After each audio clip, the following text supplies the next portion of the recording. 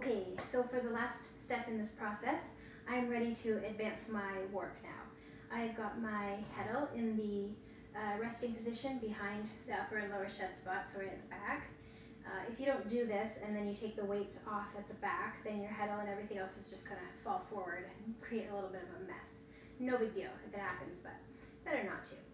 Um, so I'm at the stage now, I've actually taken off four sections of my water bottles. So I'm gonna go ahead and take off my last two.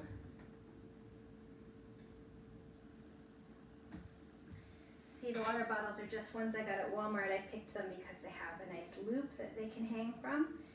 And I put two on a carabiner, and then I hang it with an S-hook off of the loops, which I'll show you how I make them in a minute. So, last one.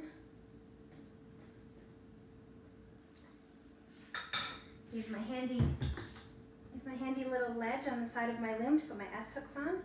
Now at this point, don't take your knots out yet. Gather your yarn, give it a little pull to advance your, see how the spindle's spinning? Um, advance your, your warp at this point with the knots still in so that you keep your sections all separated.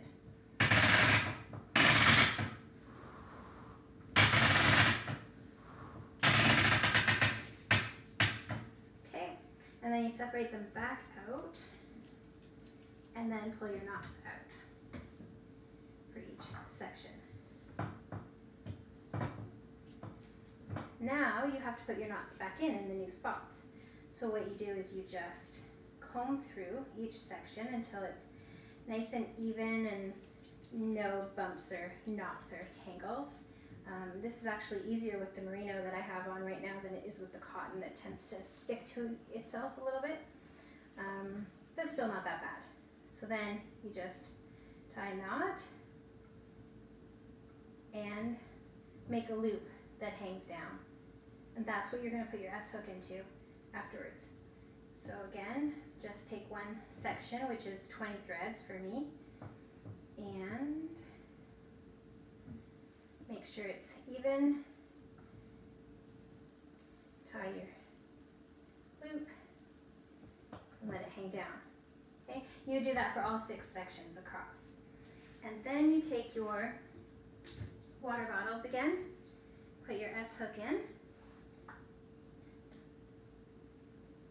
and hang it.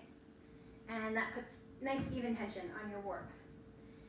I also, after you have all six of those done that way, so you put your S hook in the loop, hang your two water bottles on each section, then you um, give each one of these sections just a little bit of a tug uh, going all the way across and make sure they're just evenly spaced. I do pull the side ones in just a little bit just to make my edges nice.